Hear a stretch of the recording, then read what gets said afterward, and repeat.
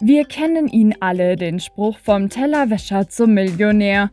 Unzählige Erfolgsgeschichten kommen nicht ohne ihn aus und beweisen, zu was man es mit harter Arbeit und ein bisschen Glück bringen kann. Im übertragenen Sinne trifft der Spruch auch auf den Schauspieler und Synchronsprecher Christian Tramitz zu, denn der 65-Jährige hat logischerweise nicht von Anfang an Leinwände geziert. Hättet ihr gedacht, dass der Münchner während seines Studiums als Gläserspüler in Biergärten und als Aktmodell gearbeitet hat? Heute sieht man ihn regelmäßig als Kommissar in der Sendung Hubert ohne Staller zuvor Hubert Unstaller und an der Seite von Schauspielkollege Helmfried von Lüttichau und blickt auf einen Erfolg nach dem anderen in seiner Karriere zurück.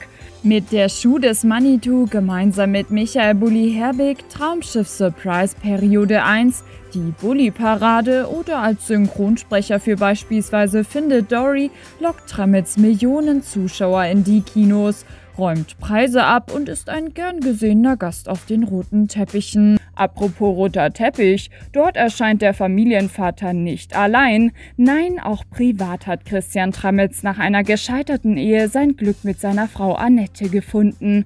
Die schöne Mutter der gemeinsamen Kinder ist seit 2004 mit dem Schauspieler verheiratet und begleitet ihn nicht nur privat, sondern stärkt ihm auch auf den roten Teppichen den Rücken.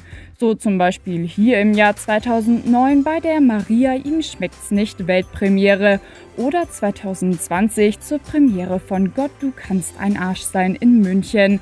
Was für ein Traumpaar.